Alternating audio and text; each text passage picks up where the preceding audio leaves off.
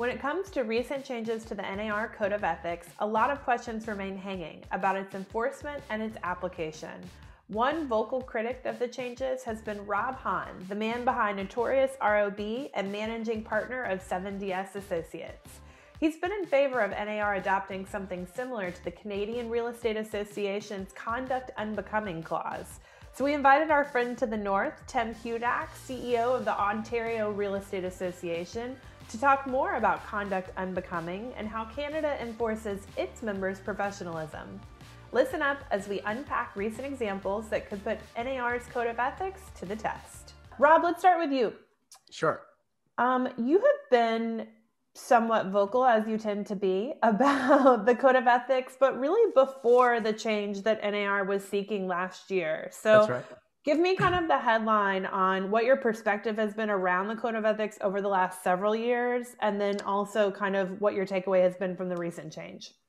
Wow. Okay. So if we're going to go back to the beginning, I mean, the issue for me has always been the code of ethics is outdated, right? That we, it's we've been a victim of our own success.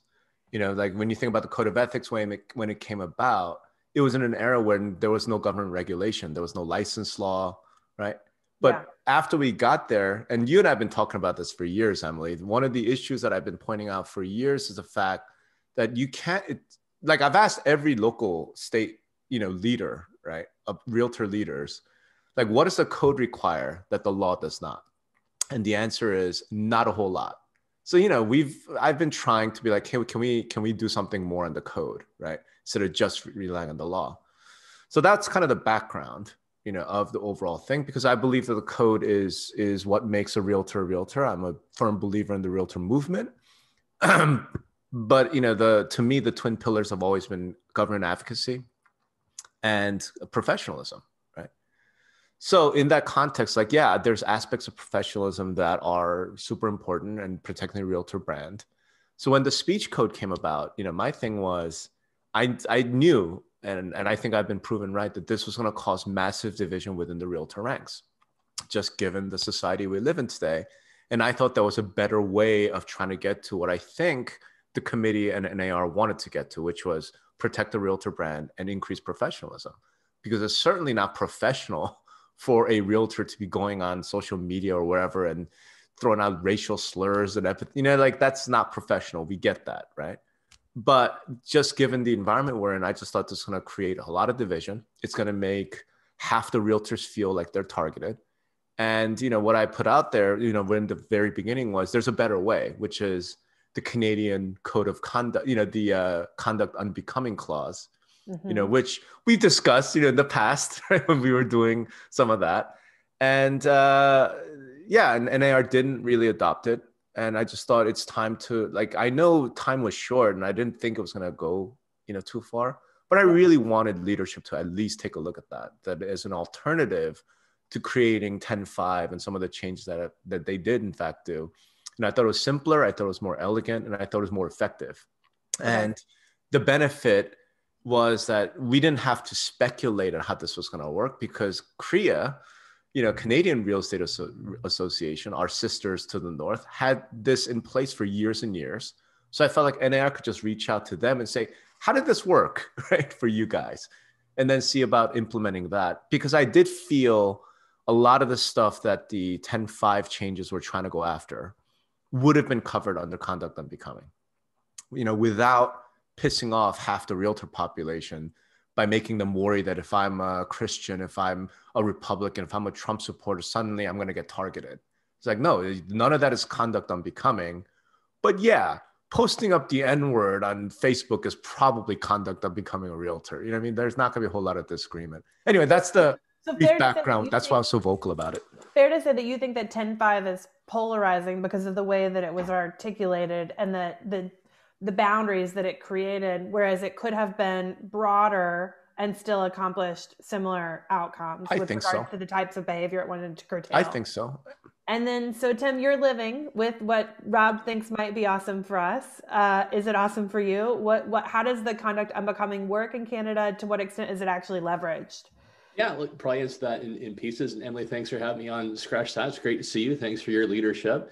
And Rob, this is fun talking about this with you because you were kind enough to invite me to uh, a session you had in Austin.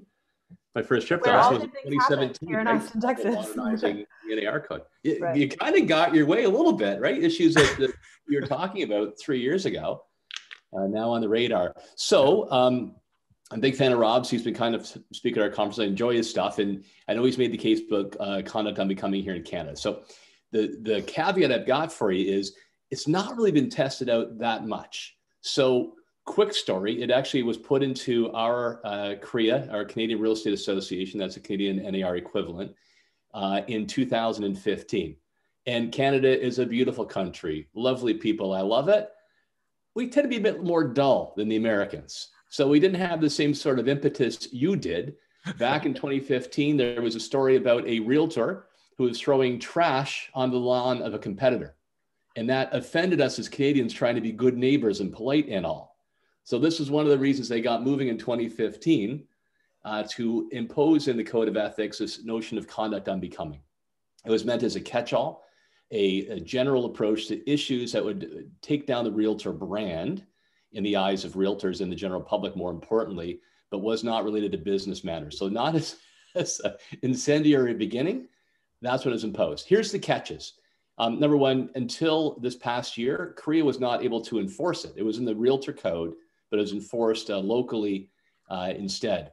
And truth be told about that too, it really has not been uh, enforced very well at a local level, maybe with a couple exceptions in the western part of our country. So while it's there, it's meant as a catch-all. It really has not been tested that much. yep. And I, you know, since you brought it up, Tim, I didn't want to you know, I'm all about confidential. So I didn't want to talk about the three year ago meeting. But, you know, if you remember when we were talking about it around then, it wasn't the, you know, obviously we weren't dealing with some of the political, social divisions. And I, what I remember us talking about was there have been a number of instances in the US where a realtor was caught having sex with some mistress or something, you know what I mean? So, a paramour in an empty listing. it was like, it's not against the code. We just it's not precisely legal, but boy, does that look bad. You know, it's, and it was that I remember us talking about. You know, so we move beyond the trash man. So there are some. So here's an example. There was a, a murdering realtor. I don't know. I should be careful on how many people he actually was alleged to have murdered, but murdered. And before he go to trial, um, nothing could be done by the regulator. He had right. not broken, found guilty of any right. any laws. Uh, and as such, you know, the board locally faced, well, can we actually get this guy uh, out of our uh, board and take right. away his ability to be realtor? So there's an example of how it actually was utilized okay. Uh, here in Canada. It's a good example. And whereas here we had a. Yeah, but my question on that correlates back to do, do you have to leverage a, a code of conduct to assess who gets to be a part of the club and who doesn't? right? Like at the end of the day it's it's really your decision who gets to be a member of the association and the terms of that membership that they have to adhere to. What it um you know some of the some of the things that we've done in an as an association are just to open our arms so wide that everybody was welcome regardless of what they stood for. And maybe the question or the reckoning that we're having now is should that be the case and do we have to use a code of conduct to make those decisions, or should we be having different um, manners of establishing what membership should be? Where's the bar? How do we establish that? I don't. I mean, it seems like there are other opportunities for a mechanism around this. If the goal is we only want the best and brightest, we don't want the murdering realtors, we don't want the ones throwing trash on somebody's lawn. That seems pretty straightforward. That's not necessarily, though, Rob the intent of the code changes that were made last year, which did Correct. directly correlate not just to this massive conduct that might not look good to the public or damage the realtor R, but very specifically issues of hate speech and mm-hmm. racism mm-hmm. in America. Yeah. So, how do we do both? Is maybe the question for you guys. Tim, let me start with you. So, conduct unbecoming um, can be managed through the code of ethics, but how might we also manage that kind of conduct in other ways as associations? Well, you can always raise educational standards. You can make it more difficult based on past behavior to qualify for a license uh, in the first place. You can make it more expensive to, to have a license. I'm sure there could be other mechanisms of uh, self censure and such. But I don't know, Emily. I, I, just think you need to have a, a playbook here. I actually think that this is the right thing to do. We're facing it here in the province of Ontario, where uh, we have a code of ethics uh, in legislation, and we're renewing that. So we are looking at uh, of the conduct unbecoming. Is that the right approach? We are looking at what the NAR uh, is doing in our consultations with uh, government on on that. But yeah, I think you actually I, I I can't think of a better mechanism than having a, a set of rules that, that, are clear. There should be a high bar for this, so it's not used to, you know, grind axes and go after your competitor down the street. Yep. And obviously, it should be a decision-making mechanism of people who are respecting the profession. But honest to God, I, do think it's time that realtors did a better job here in Canada, and you're on this in the States, of self-policing. You can't always slough it off to the regulator. Regulators too often don't know the business certainly know the history in Ontario has been too often a slap on the wrist for various reasons. And I can't imagine, you know, think of an airline that says, um, that, you know, use that old uh, few rotten apples mechanism. You know, we, our, our pilots are really good, except for the guys that crash in the mountains from time to time. But the rest are all right. You, you can't use that approach in the modern era. You got to be angry and you got to give the boot to these people that have this egregious rule breaking. Let me understand what you're saying though, because you said both were working with legislators, with regulators to determine how to manage licensees and their behavior, but also we should be self sufficient on that front and creating accountability in our marketplaces as associations, correct? So it's a yes yeah. and? So uh, the situation, I try not to get too much into the weeds here. Sure. So a regulator cannot enforce anything that is conduct outside of the business of real estate transactions. Right. So we are now moving towards giving that ability as well. And nationally, CREA is looking for an enforcement mechanism so we can self-police much better right across this country. Okay, and so Tim's bringing up a part of what the changes that resulted from last fall were that were so so controversial for us, Rob, here in the states. To what extent does behavior of a realtor apply when it's unrelated to a real estate transaction? We now know that there are aspects of the code that do apply outside of that, but that for some reason was very upsetting to many, many people, despite the number of leads they've curated at soccer games on a Saturday. So help me understand where's the line between when we're doing business and when we're not, in your opinion? I, I don't think it's even that. That's uh, the problem, right? The problem is you can do whatever the hell you want as a realtor association, right? Mm-hmm. Now, again, I don't know. I I don't recall like the Canadian charter or anything like that. But fact is, we can't have the licensing authorities here do any anything with hate speech, right? Because the First Amendment. You can have NAR, which is a private organization, do whatever the hell it wants, right? So yeah, I mean, the issue though there is the MLS. Mm-hmm. In other words, if you if the MLS were completely separate from realtor membership, so realtors can say, you know, we don't need a code. We could just say we don't like you, so get out you can do that. I mean, there's nothing that prevents that. However, you can't do the same with the MLS because the MLS has been found over and over and over again as a necessary utility to do business. So if you're going to take away somebody's livelihood, then yeah. you do have to meet you know some some bar, right? It can't just be arbitrary, right? Otherwise, you just get sued, and then the DOJ will come in, and all kinds of nasty things will happen. So the only way to do it, I think, is through, like Tim said, real clear rules right? Where people could say, oh, if I do this, then I lose access to the MLS. If I do this, I lose access to MLS. And I think that's what we're kind of dealing with here, right? And so we could even like the whole thing about private versus personal. I, I, I kind of feel like when it comes to private organizations like realtors, yeah, you can do whatever you want. You know, I don't I don't have an issue with that. And quite frankly, I don't know that the people who are really upset with the decisions necessarily have a problem with that either. The problem is the multiple listing service, mm-hmm. right? So we go down this path, and, and I've already made this prediction, right? You know, I and I grant you, all my predictions are guaranteed wrong or your money back. But you know, but I do think, you know, uh, and I've been talking to a lot of people, you know, since this pass around the country privately because they're all terrified, right? It, I think there's a really good chance that we see a real schism you know, within the realtor movement sometime this year. And I think the schism will manifest via the MLS, right? I mean, we already have the eighth circus of the Thompson states, right? And then we have California, where you can't tie realtor membership to MLS subscription. Texas is not one of those. However, given kind of the general social, you know, and political environment in Texas, if a realtor were to bring a lawsuit in Texas court saying this is discrimination, this is antitrust, you know, I'm I think it's pretty likely that they win that, right? Mm. Um, and I I think, and this is my fear with all of this is, is that that's what we're headed to. We're headed towards schism.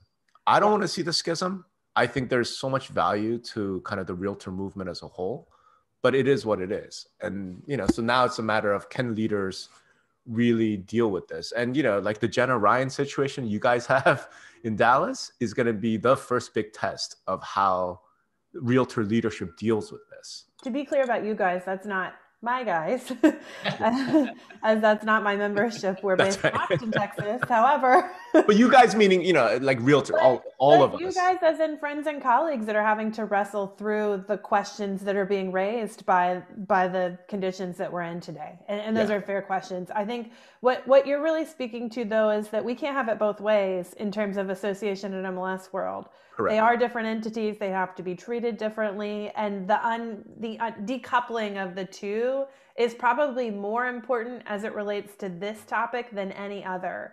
If we truly seek to hold accountable realtors, yeah. capital R, with some level of standards that are in excess of everyone else, then it can't be an association for everybody. No. Meaning we can't necessarily continue to tie access to the MLS as it relates directly to that. That will That's be an right. unpopular opinion, probably even among my own leadership potentially but there is a there's a direct concern there that if we want to be better then we can't be for all and if we can't be for all then we can't tie the utility to that anymore. Correct. Correct. Um, and for me that's really the big the reckoning that is coming for us is how do we continue to decouple association from the operations of the mls well, in a way I mean, that's successful for both well, Emily, you know, you know, I've been writing papers. I've been talking about that for seven years. So that's not the topic for this podcast. Not today, but look at how quickly it takes us back. I mean, it, it does. It speaks to the dysfunction of the way that we've been managing the two yeah. for a long time, potentially. Yeah, yeah, and I think we're going to see everything come to a head sometime this year. I, I, actually believe that.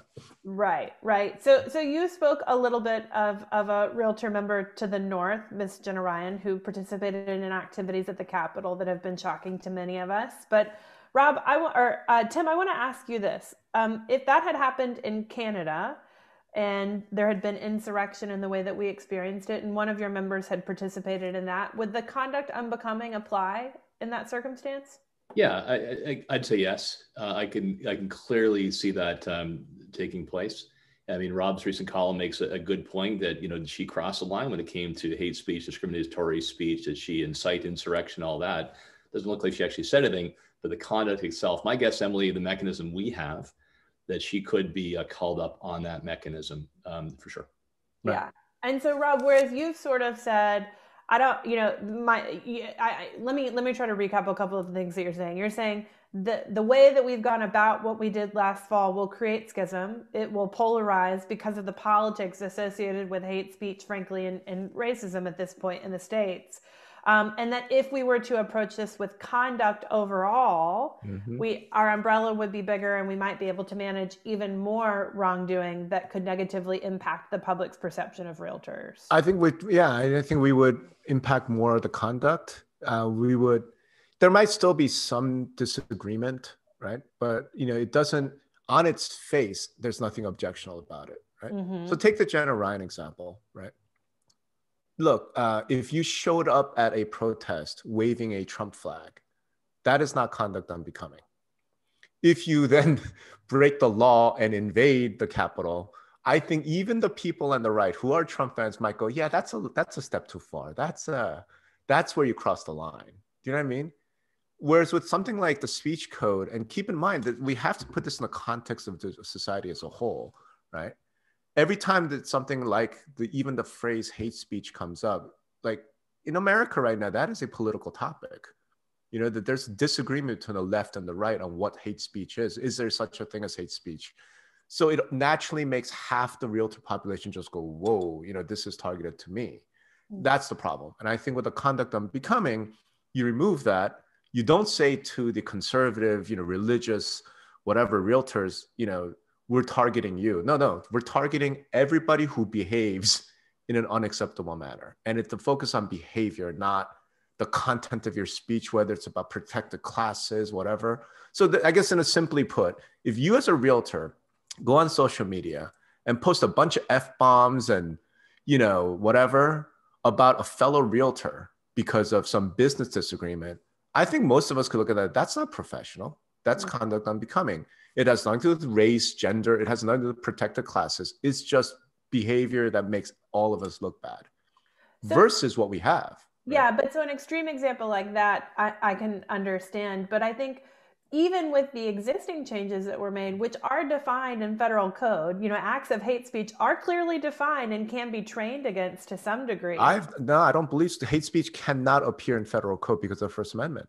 But the well, the protected classes can be protected classes. Is, yes. What its objective is defining is it hate speech or regular speech around those protected classes. But there's question there even of how are we training the panels that will have to manage these correct sanctions? How you know are people really prepared to put the guardrails up they're, around they're that? Not.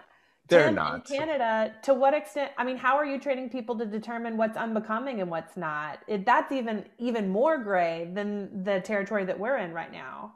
Yeah, it's true. And this is our weakness. So we, we took the first step in 2015 to put this into the code, but it has been poorly um, managed uh, since. Now, there are some new cases coming up.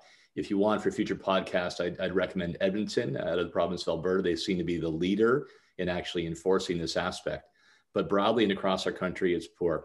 Let, let me add a couple of thoughts to uh, what you and Rob were just discussing. My understanding is that NAR did consult uh, with uh, CREA to see uh, how the conduct unbecoming um, was working as an oh, option. Good. Ultimately, uh, NAR though decided because the nature was happening in the states around speech and racism, they decided to uh, act. They needed to act in that direction. But I, I do worry for you. I think that is too narrow. Now, here's another kind of soft Canadian example. It's not storming the capital, but very recently, the province of Nova Scotia, it's like Canada's Maine, uh, we had a realtor who stole a dog. She thought a dog was being mistreated uh, by uh, by its owner, and she refused to give the dog back. Um, was not a client. There's no uh, real uh, real sorry real estate relationship. Um, but she did say that she knew some stuff about his listing and she would use that against him if he complained. Cool. So here's an example again, something that would not be caught up in speech, but that's embarrassing behavior. The regulator here did act in the province of Nova Scotia, but as a slap on the wrist. So Walter's saying, what the hell? This is extremely embarrassing, threatening people. So our unbecoming will capture that, Oops. whereas your speech code would not. I, uh, I mean, if only our problems were so simple as to relate to stolen dogs, we would really. yeah. I, I envy the experiences you're having up there, Tim. It sounds Canadians rough. are nicer. um, you know, we're so close yet so far apart, really. But but it it is it, it's interesting to think about how how wide the umbrella could run, how um, how significant even very small actions are when it comes to retaining the public's trust in the profession that we represent, um, and the relationship that we share with the public. Tim and, and, and Rob, too, tell me, how do you think the public perceives the changes that are being made? You know, what's the conversation like with a consumer at this point? Should we be touting that we're doing this and we're proud of ourselves for doing it? Or um, what do you think their perception is of these changes? Tim, you want to take a stab at that? Yeah. So uh, my, my usual, I'll, I'll answer it a different way. My usual gut on this is a consumer will be widely um, unaware this is taking yeah. place and you can tell them all about it and why not? But it, it, probably won't penetrate. Usually the bad news travels right? Bad news travels around the world before good news gets its pants on as the expression goes. Mm-hmm. but let me give you some contrary examples of risk of not of not doing this. So you know another example close to home i, I spent 21 years in public life as an elected representative here in ontario and we had a case of the dog punching vet. So local veterinarian was taped by his staff physically abusing dogs, including punching them in the face. Claimed that the country he came from, that was common practice, which was ridiculous. Um, the disciplinary board went after him, gave him a slap on the wrist, and the Veterinaries Association was nowhere to be seen. Uh, they didn't even do the few bad apples thing. They just totally disappeared, which was outrageous, which made me suspicious of that profession altogether. And that was such a huge story um, that, uh, that people then would lose faith in their ability to self regulate. Even worse, we've had a series of stories in province of Ontario, chiefly out of the Toronto area, our capital, uh, where they have what's called passing the trash among teachers, where teachers who had uh, caused sexual abuse uh, to their students would simply be passed on sight unseen to a school, you know, down the road. Mm. And they were never brought up on charges by, by the union or sadly, effectively by the regulatory body, which absolutely undermines their ability. What does that mean? Well, the, the profession's in disgrace. People will generalize that this is happening more often than not, and it will invite further government intervention into day to day business. I think um, my take on it is pretty straightforward. Um, depends on which consumer you're talking about. In other words, realtors aren't the only people that are divided. The people in the United States are divided. So take Texas, right? Mm. I mean, in the Dallas area, I I've seen these comments, right? You know, people on the left are saying Jenna Ryan's a traitor and you know whatever, and we'll never do business with her. On the flip side, you've got half the country. Jenna Bryan is a patriot, and you know I'm going to make sure to do business with her. I, it's so when it comes to something like this, there was a story in um, Real Clear Investigations. I don't know if you saw it, but it's it's essentially a center right, you know, media source, right? That's talking about the NAR speech code and how this is, means NAR has gone woke and it's become social justice uh, entity. Half the country is going to look at realtors then and say that's terrible, right? The other half of the country is going to look at them that's wonderful, like NAR is doing the right thing. So in a real way, by going down this road, I think it's inevitable, right? That there's no, we're caught between a rock and a hard place. Realtors can't, at this point, I don't know how you get around that or until the mood of the consumers themselves change. So we get to a point where 90% of consumers, you know, just everyday people go, yeah, you know what, we really need to stomp out hate speech and, you know, etc. Then yeah, I guess this is fine. But if it goes the other way, where 90% of consumers actually like, no, this is an infringement on freedom and this is too much, and you know, I, then we got a problem. So to me, it's very similar if you want to do the analysis from that standpoint to kind of how the NBA handled Black Lives Matters, mm. right?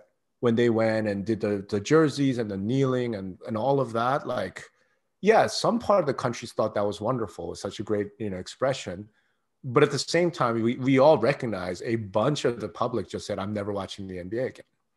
Right. So I feel like, yeah, maybe it's not going to get traction. And I kind of agree with Tim in the sense that most people aren't going to pay attention to this, except that the United States right now is so heavily politicized, so mm. divided, and the two sides do not watch the same news. We don't follow the same media. And I'm constantly shocked because I'm I am on the right. And I look at I talk to my friends who are on the left and say, we don't like I don't watch MSNBC they don't watch Fox. You know what I mean? It's just we don't follow the same news. So what some people might say this is no big deal. It's not even you know blipping the surface to consumers. I'm like, I don't know if that's true. If you watch this side of the media, it's very much in the consciousness of consumers there. So it's it's just a major concern, whichever side you're on. Do you know what I mean? At some point, when you look at it as realtors as a whole, industry as a whole, we don't deal with this division in some way.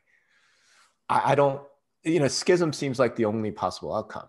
But I think that's true even had we adopted a different, even had we adopted conduct unbecoming. It, How, I mean, there would still be the same kind of divide potentially around actions taken related to individual conduct that might be perceived as politicized as well. I, I don't, I mean, um, I would say this, I, I don't I don't think we're here to criticize what's been done as much as we're saying what do we continue to do. And then exactly. even as we continue to expand opportunities to increase professionalism, I think we run the risk of that schism again and again because that's just where we are culturally right now. Yeah, like I said, I mean, we won't know because it's it's been done, right? But yeah. I guess from my standpoint, uh, it was by not having it facially, like prima facie, you know, just on the surface, right, seem one way or the other, mm-hmm. right? Which is why I really love the Canadian conduct unbecoming clause. Now, you're right, Emily. In certain cases, application of that rule in a certain market could become political. It could become all those things. But with something like conduct unbecoming, you can point to actual conduct that's egregious. Do you know what I mean? So if, even if it's Yes and no. I mean, I you know there are things that I think are very unbecoming that might not be perceived that way, or things that are very unprofessional in my book that might not be unprofessional in yours. I can't imagine the task of training against that, the grievance panels and the professional standards folks that would have to work to determine conduct at large, what is professional and what is not. I've seen some things in my time in this business. And right. it, you know, if we can't manage that at a human level, I'm not sure how we manage that through a professional standards process. I actually think it's not as difficult as you imagine, right? Because again, the conduct unbecoming clause in CREA talks about egregious behavior. Tim, how hard is it to define egregious? Well, you don't have to define it. That's what I'm saying. Like, here's some interesting. Americans want to define stuff like down to like, you know, we don't have to. Like, we can actually land the judgment of rational people without special training. Seriously, if I if if you had a, a, a committee of say five realtors, right, mm-hmm. without any special training, yeah, and went to them and said, listen, uh, this realtor was caught on camera having sex in an empty listing do you guys think this is conduct unbecoming? I think the answer is going to be pretty clear. It, do you know what I mean? I'll hey, agree with that, but how many actions are there where there are circumstances that could be perceived as politically driven, right, or are politicized, and right. then how do we train against those actions? But that's what I'm saying. Your so point, Rob, you hear the news one way, I might hear it a completely different sure. way. Facts are not facts here sometimes. Sure. sure, but my point is, I think most, the vast majority of situations, hey, this person broke windows at the Capitol and and stormed in well, that seems like pretty reasonable to say that's conduct unbecoming. This person was waving a flag, put up a post on social media saying, I support, you know, Blue Lives Matter.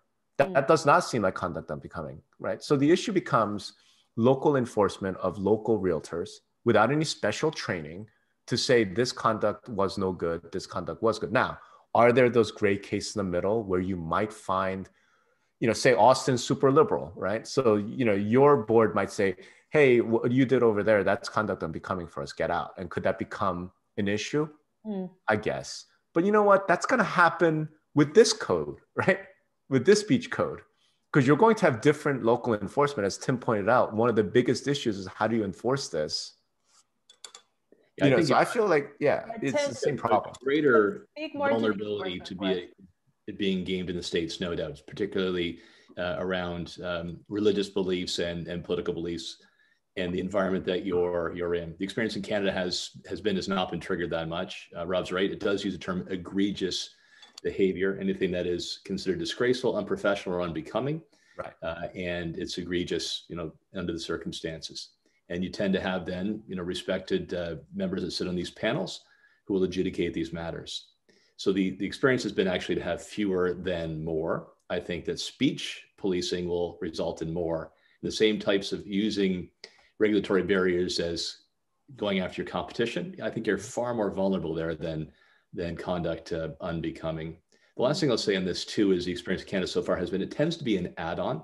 There will usually be other behaviors that would take place uh, during real estate transactions, and this gets to be an add-on. That mm-hmm. that tends to be the pattern of those cases that exist. Until the the dynamics in our country shift in such a way that not everything is as politicized as it is today. Mm-hmm. I think we've got an uphill battle, and a lot of this is going to remain muddy. What else can and should we be doing to increase professionalism and the public's trust in our in our profession? Then, what other options do we have if all of this is quite challenging? I mean, you know, we talked about this, I think, three years ago. I mean, one of the issues with professionalism and public trust is the realtor associations are super secretive about ethics charges. Uh, right? And even ethics punishment, right? Like it's not like I could go on ABOR's website right now, click on blacklist, right? And here is a list of realtors who've been disciplined by ABOR for an ethics violation, right? There's nothing in the record, you know, it's not like I could say, you know, hey, let's look up the Better Business Bureau for realtors and see, you know, is this person have a clean record or not? We don't do that. So right off so, the so bat, transparency in the process would would definitely provide for public trust. I would think so. I mean, if if that's our goal, like how do we not tell the public here's you know here's how we discipline our own, right? Mm-hmm. Like we mm-hmm. it's we do it, but then it's all secret. It's all kind of inside baseball, right? Mm-hmm. So Even that, through the regulatory agencies, that's the case. Tim, is yeah. that any different in Canada for you? Yeah, I, I, can't speak to the American experience. I'm sure it's different across the 50 states, but here in Ontario, our, our regular needs strengthening. There's no doubt about it. I, I, happen to be the guy that brought that legislation through when I was. yeah, you're the one for that. I was ahead of its time in 2002. Um, but a big charge we've led successfully with the current government uh, is to give a greater ability uh, to suspend, revoke licenses. We've more than doubled the fine. They can do proactive investigations now, set a higher bar to get in the profession. Um, to have small uh, administrative penalties as well, so you don't spend as much resources going after the bad apples mm-hmm. as you mm-hmm. could for simple tickets. Right. So we've, we've actually brought that forward, which I think has raised the level of esteem for realtors, certainly with government decision makers, and then those that follow uh, in the public. I think Rob makes an excellent point about the the secret nature. I mean, it's it's hard even on a regulator to find who have had transactions or sorry have had transgressions. We could do that similarly. I think you had to hold brokers accountable too. We've all heard stories with a realtor who gets in trouble and then she finds you know refuge at, uh, at some low life brokerage, right? So shouldn't brokers also be responsible for the conduct of their agents? Yeah, that's an interesting one though, and sort of stemming from what Rob is saying as well. I've heard from so many brokers that even they are not always aware when an agent parted ways with their previous firm under terms that were less than awesome. And so it's transparency in their recruiting process as well would be beneficial because they wouldn't pick up agents that maybe had acted in ways that they don't want um, in their firm or they are not conducive to their brand. So I, I think that there's plenty to be done in terms of how we how we publish potentially you know the actions that are being taken and the records of the agents that we that we work with and manage and highlight frankly the those that are truly professional and are excelling i mean i, I would love us to find the carrot too for this and have right. the opportunity to really highlight the good work of so many members that we represent and i would bet that tim feels the same about his agents yeah, that's an outstanding point to celebrate those successes those that are you know extraordinary they're charitable giving that are solving problems uh, in their communities that rise the occasion and you know lead leading boards like uh, like Austin's. Um, mm-hmm. and yeah. we just have operating from principle um, that is just too far too easy to get in and far too hard to kick somebody out when they break the rules. And we're making progress by sticking to that and going hard at decision makers on that principle. I think that's a that's a great place for us to kind of wrap up with with the expression that you know we're in the mud and we're not going to get out of there very quickly. We've got a ways to go. I think that um, all of us will continue this conversation in some manner as we continue and and hope for less divisiveness in our future. That would be beneficial for everyone i think it's safe to say um, with that, I want us to wrap up with a few fun questions if you're open to it. I usually do a speed round at the end of Scratch That these days. And I can I was going to say, Emily, given the topic we're discussing, boy, fun seems like. we're going to go. We're going to do it. You know what? You got to bring a little joy even to the even to the mud. So, so uh, Rob, let me start with you. What's your favorite podcast? My favorite podcast, uh, Industry Relations. Okay. Oh, really? You had to it's promote my, your own podcast. At me. Come you know? on, Rob. There's no pitching here in, on Scratch That. um, After that, uh, honestly, it's got to be uh, uh, Dan Carlin, Hardcore History. Okay. All right. I'll take that one. What's your favorite city that you'll travel to after COVID? Oh, boy. Or maybe during COVID, if that's your choice. Uh, Charleston, South Carolina. Charleston get back to the South. I Um, and what book should everybody be reading right now? Oh, I don't know. That's pass on uh, pass to Tim and let me think about it. Get back to you. No, actually, you know what? I take that back. Uh, everyone should be reading the Daily Stoic. Okay. All right. Why? I think we all need to embrace a little bit more stoicism in our lives you know, the philosophy of Stoicism. Even that is ironic coming from you, Rob Hahn, but I appreciate that that's what you're perpetuating these days. Tim, what's your favorite podcast? I'm not a huge podcast guy, so I guess anything. I'm a fan of the Ringer, so anything comes out of the Ringer, I love the sports, culture, and politics through that. Okay, love it. Um, what city do you want to travel to, and you can travel again? So we would split. I, I, mean, I love coming to the States. We, we actually were in Charleston last year. I've enjoyed my trips to Austin. So I got three answers. I would choose Chicago. My wife would mm-hmm. choose New York City. And if we had a compromise, we have good friends in Vegas, plus Rob and Sunny. So Vegas would be on the list. Yeah, Vegas, Vegas baby. Sure. Uh, and what book should everybody be reading right now? I'm I'm reading Hillbilly Elegy. I, I'm a huge oh, yeah? fan of uh, Tom Wolfe, and he's passed away. I'm trying to find somebody who helps capture, you know, what's going on in the culture. So that's Vance and Hillbilly Elegy be my recommendation. I love it. Um, you guys are awesome. I so appreciate you being willing to talk about a conversation that will go nowhere to some degree because it's difficult to talk through. But I know that uh, we'll we'll get to the end of it at some point, and I really appreciate you taking time with me today. Thank you. Great Thank to see you again.